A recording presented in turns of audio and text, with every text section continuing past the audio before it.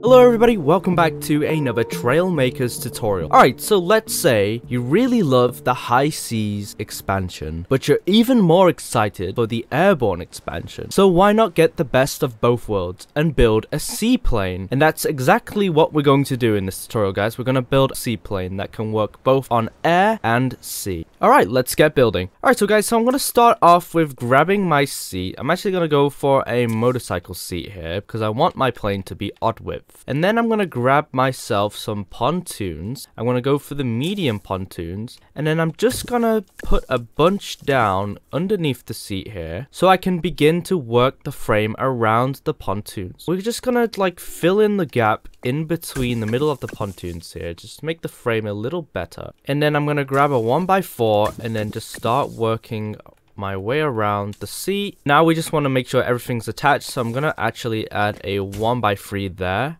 Okay, so I really want my build to be both hydrodynamic and aerodynamic. So what we're going to do here is utilize the wedge piece. I'm going to actually grab myself these inverted corners and then, you know what, let's bring this wedge out like so. Add another wedge here.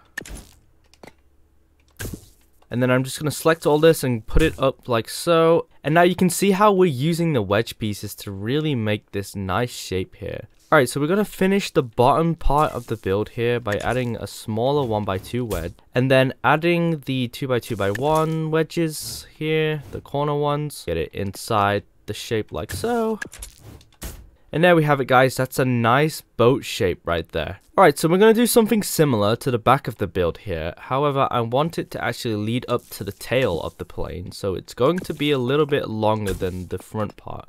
So I'm just going to take all these pieces here, like stairs. Just want to fill in all the missing gaps here with the inverted corner.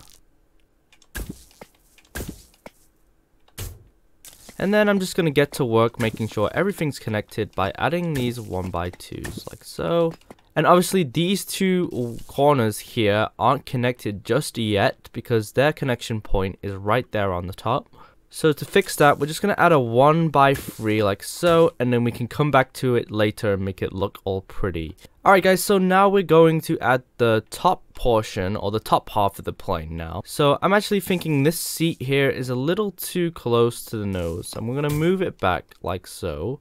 And then I'm just going to copy and paste the pieces we've already used and really get to town making a nice nose shape.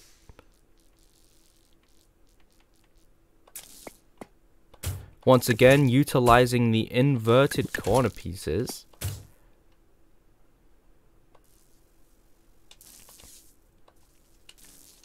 And already guys, this looks super nice. Alright, to finish the frame, I'm going to add a 1x4 there and then just copy it across. And now we have a better understanding of how the shape here is going to turn out. Gonna grab myself a 2x4 and then just copy some out along the top there. Copy and paste, copy and paste, copy and paste, copy and paste. There we go. And now all I'm going to do now, guys, is fill in all the missing spaces here. So we're just going to grab a block and then just do that. Do the same on the other side. Boom, boom, boom. Oh, here we go. Here we go. That's better. And now I can start working on finishing the tail. So I can get rid of these placeholders now. And I'm going to grab myself another inverted block and do this. Then I'm going to grab the big wedge piece, stick it on the plane like so. I'm really happy with the way this tail is starting to just like come out of the back of the plane here. And to finish it guys, just add the corner pieces. Alright, so we do float. Uh, we are top heavy, which is not a problem right now because I actually have a plan in mind to fix that. And that comes when we start building the wings. But before we get to the wings, we're actually going to finish the tail. So I'm going to extend this piece out like so. Start making a frame. It's always good to make a frame, guys, to get your bearings. And now we want to add our modular wings. Here we go. I'm just going to add one to the tail like so. And now we can get to work adding the hinges so we can make these modular wings uh, give us some pitch. So there we go. I'm just going to put them across like that. And like always, I always use the flat connectors or shield pieces just like this. And like so, there we go. There's our tail so far. Right, well, we should probably go back onto the aircraft carrier for now. And after some configuration, it should do that. Very nice. I'm going to grab a simple tail fin and then I just want to place it here for now. This piece is perfect because it allows us to have a 1x2 shaped block uh, with only one connection point on the side here. So the modular wing won't be connected to this side here. And then maybe I just want to fill in this missing gap here with this. We can do the same on the other side just grab a wedge, you know, fill in the missing gaps, guys. If you wanted to fill these gaps in further, in fact, what you could do is add some shield pieces and just cover the holes like so. Alright, so now we need to add some propulsion and wings. Okay, so what I'm going to do here is get rid of these wedges now. And then I'm just going to copy and paste pieces because we already have them out. It's just very easy to copy and paste the pieces. And then we're going to make a frame here. And then I'm going to grab one of these one by threes, Like so. And then we're going to grab our big modular wing. And I have a very interesting mechanism in mind right now. So I'm going to take another 1x4. It's going to copy the same shape here by doing it on the other side like so. And I'm going to leave this gap here and we will come back to this guys. The reason is I have a very unique plan for this. Make sure you do the same on the other side. Okay, so now we're going to copy and paste the modular wings here. We're actually going to leave a gap for the mechanism. Do it on both sides. Just like before, add a hinge somewhere in there. Just want to connect everything using the flat connectors. There we go. Alright, so after some configuration, the wing should give us roll like that, and then we have the pitch at the back, of course. And then we just want to finish the gaps here, um, copy and paste, and then we can add a wedge piece. Let's go for the 1 by free wedge piece. I'm going to do the same, of course, as always, on the other side. Just really quickly, we're going to fix the roof here, like so. A inverted corner piece, and then fill in the missing gap with the necessary 2x1 wedge piece there. So now this is going to get a little interesting. Grab a rotating servo, we're going to place them inside the gaps like so. Uh, we're just going to leave this side for now. And then we're going to grab this 2x1 rounded again. Such a handy piece. Stick them on the servo like this. We're going to double the size. And finally copy and paste the servo across like so. And now it's time to do some configuration. So I actually want one of these servos here to be a dead servo. So I'm going to go into configuration and turn the strength down all the way to zero. And now for this servo, I just want to add a keybind. It could be anything. So I'm going to use the up on the D-pad there. Put it on a toggle. And then uh, we'll just go out of build mode and just give it a test. So yes, it works. That little mechanism there works. And just copy and paste to the other side like always, making sure the mechanism is going the right way. Now guys, you want to grab some mini thrusters. So here I go and we're just going to put them upside down like so underneath this part here. And then I'm just going to copy some along like so until I'm happy with the amount. Uh, this should be enough for the build right now. And now I'm going to make sure it's all connected. I'm going to add a wedge piece on the back. I'm going to add some 1x2s on the front here. And finally, we can add a propeller. So we should have one side of the engines done. And make sure, obviously, it's copy and pasted onto the other side of the wing. And to finish the wings, guys, we just want to clean everything up. So I'm going to grab a logic piece, place it there, just next to the modular wing with the face of the logic block facing into the modular wing.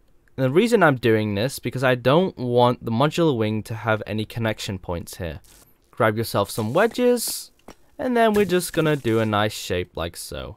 It might be a little odd here for this gap, but that's fine, it doesn't bother me too much. Okay, so now you should have something like this. If we just give it a quick test, we do have propulsion, so we are going forward. Uh, we're just gonna try and get this thing flying here. Oh, there we go, we're flying, definitely flying. And now we're going to test if she lands in the sea. And there we go. With those pontoons, she lands very nicely in the sea. However, it looks like it wants to roll over to the side, which is okay. I know a way we can fix this. Add some tube pieces here, the sloped one. Let's say right here. And then I just want to copy and paste one down. And maybe I'm going to actually double this up. Finally, we're going to take one of these pontoons here, just copy and paste it across, add it to the bottom of the tubes like so. Obviously, doing the same to the other side we need to add some floats into the tail. So I actually have a gap here I need to fill in really quickly. So we're just gonna stick in that 2x4 like so. And then these big wedges here, I feel like we can just delete them. And then copy and paste a couple of these pontoons over to this side. We should be able to have that assist with the floating. Yeah, that's pretty cool. Okay guys, this thing works perfectly. Now that everything is finished uh, aesthetically and mechanically, we can give this thing a nice test flight. Okay, so off we go. And uh, we're struggling to take off here, which is fine because we have our special takeoff system. So we're going to activate those, aim them up like so, and then level them out you just want to have them on for a little bit of time, guys, or you're just going to end up doing a loop-to-loop. -loop. But there we go. A fully functioning, working seaplane that I'm actually really proud of. All that's left to do guys is give it a quick paint job and add some decals. Okay guys, so now we have the paint job and decals finished. As you can see, I went for a nice orange and blue theme, which I think is really nice. And then I also added some little fishies on the side of the plane there. Okay, prepare for takeoff. Let's go. And we're just going to drive off the carrier here. Oh, there we go. And then we have flight. So yeah, awesome. We can fly around. And guys, if this build isn't fast enough for you guys, there's always space inside the main body of the plane to add more mini thrusters for that extra speed. And this plane is actually really nice to fly. So we're going to land in the ocean here. Just going to plop her in the ocean like so. Boom. And there we have it. We have landed on the ocean. Special feature, take off. And there we go. We are now out of the ocean and flying once again. Alright guys, so thank you so much for watching this tutorial. I hope it helped give you guys a better understanding of making a seaplane function. And I'm interested on seeing what you guys come up with with your own seaplane builds in the workshop. Alright guys, well that's enough from me. Thank you so much for watching. Leave a like on the video if you want to see more videos like this one and I'll see you guys in the next one. Peace.